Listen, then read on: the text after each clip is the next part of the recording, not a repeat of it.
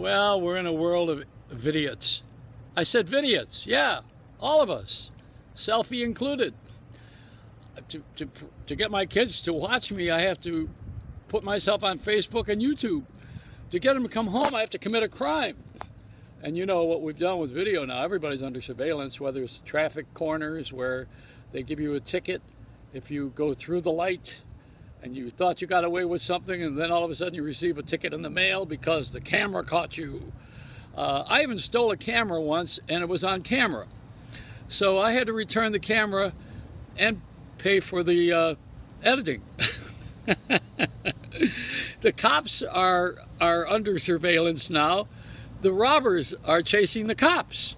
Everything's reversed. I mean, it's all upside down from what I the way I learned it. Cowboys and Indians uh, to be totally frank about it, I think at this point, uh, we ought to get the Indians, give them their land back, and take the casinos. I'd rather have that anyway. The hell with all of this land. I don't need this land. I don't do anything with it except grow pot. So uh, this is it. I mean, you, I'm, I'm on video. I'm, I'm a vidiot. I'm like everybody else here. I wonder if uh, I have to be on one of these big television shows. They don't have them anymore. What was the one that we had? Was uh, the bloops and blunders and uh, uh, Allen Funt. Remember those things? Everybody's doing it now. Everybody's a clown. Everybody's a star.